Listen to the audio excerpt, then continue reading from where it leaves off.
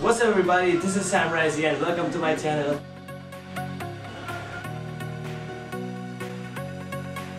So today we're gonna talk about is this. The cap. And I'm gonna show you how to style this cap in four different styles. I'm also gonna show you what is a flat brim and a curved brim. And last but not the least, I'll let you guys know from where you can buy these caps at a very cheap price. So let's go.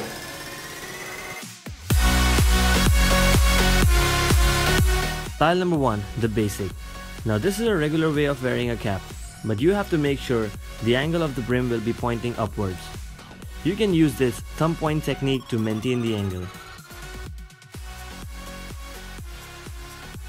Don't overdo it as it will destroy the motive of the basic look. Remember the thumb point technique.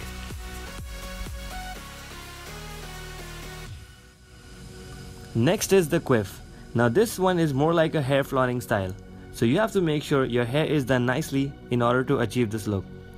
So once you put on the cap, you can brush or blow dry your hair to gain a quiff and blend it with your cap. Similar to the first style, you need to maintain the angle and don't overdo it. Only half of your neck should be visible to get the perfect angle and practice will make you perfect.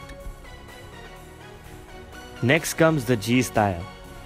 Now in this style, you have to maintain a flat angle. So make sure you should not have upward facing brim or the downward facing brim. And again, you don't have to overdo it. Make sure you maintain two finger gap from your ears to achieve this look.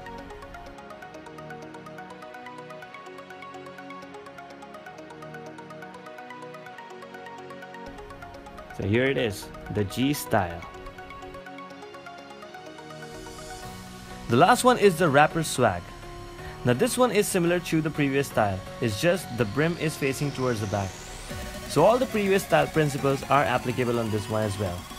The angle, the two finger gap, the flat brim. And make sure your hairs are not poking out from the snapback gap. That sounds like a rap. So this is the rapper swag. So now I'm going to show you what is a flat brim and a curved brim. Now as you can see, this cap currently have a flat brim. However, you can buy lots of curved brim caps in a market. But I'm going to show you how you can make your own favorite flat brim cap into a curved brim cap. Now you must be wondering what's the trick in this? It's pretty simple, just make a flat cap and bend it and make a curved cap. But you're wrong. There's a trick to do this and I'll show you that. So what most of us do is they create a tension at the center part of the cap which is completely wrong because this part of the cap is made of a flexible plastic and as you can see there's a stitching at the center of the brim. What you have to do is you have to create tension at 8 different points of the cap. Let me show this to you. One, two, three, four, five, six, seven, eight. And here it is, a curved brim. So you can wear this cap like this and go complete incognito. You can just put it like this and throw some hoodie on that. If you have a habit of wearing a cap in a gym, I would recommend you to go with the curve instead of flat. And also if you have a habit of wearing a cap everywhere, I would recommend you to go with the curve brim again because curve will not make your head look obvious. It will blend with your outfit and keep you simple. Where if you wear a flat brim, it's gonna make your head look obvious and you'll also look different in the crowd. So as I promised, now I'm gonna show you from where we can buy these caps at a cheaper price. Let's go on a field trip.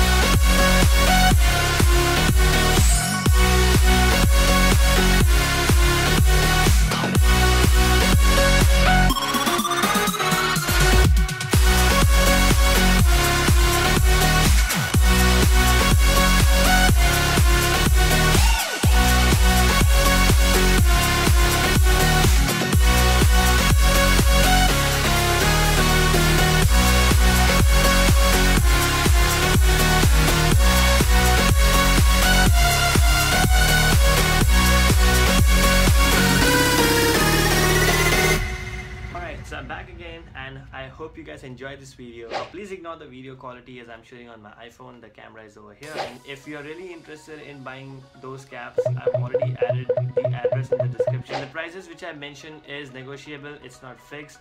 Uh, but it's up to your skill and how you negotiate it. If you like the video about me styling the cap, please let me know down in the comment section that how you like this video and if there's anything that you want to recommend I would really happy to do that. So please let me know if you guys want to see any different kind of a video. All my social media links is in the description. I'm on Snapchat I'm on Instagram.